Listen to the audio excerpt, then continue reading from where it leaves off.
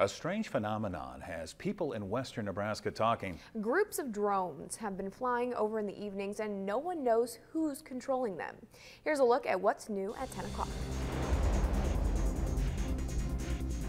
I am so creeped out.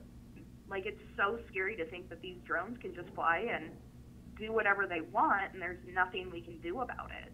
Quite the mystery in parts of Nebraska. For over a week, large drones have been spotted flying overhead during the evening hours. And that one's probably about a four foot drone, and these definitely look like the wingspan is a lot wider on them.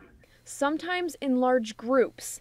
Sean saw them near Wallace, that's just south of North Platte. But you start seeing one, and then pretty soon you start seeing them just flying a grid pattern straight east to west. The sightings began in Colorado and seem to be working their way east.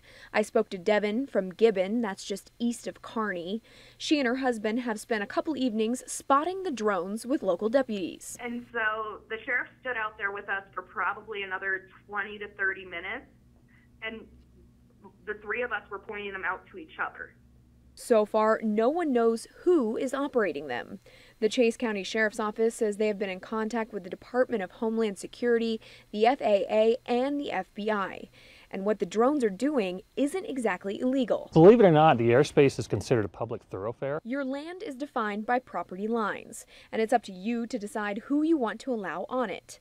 But there are no property rights when it comes to the air.